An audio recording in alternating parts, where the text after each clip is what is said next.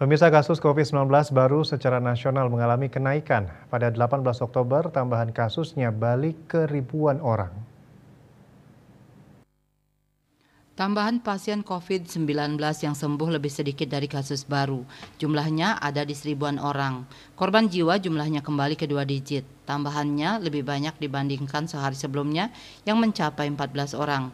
Data Kementerian Kesehatan menunjukkan terjadi penambahan kasus COVID-19 sebanyak 2.164 orang. Kumulatifnya menjadi 6.460.265 orang.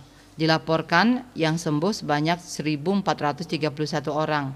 Total pasien sembuh menjadi 6.284.382 orang. Korban jiwa bertambah 18 orang. Kumulatif korban jiwa menjadi 158.345 orang selama pandemi berlangsung sejak Maret 2020. Jumlah pasien COVID-19 yang masih dirawat mencapai 17.538 orang.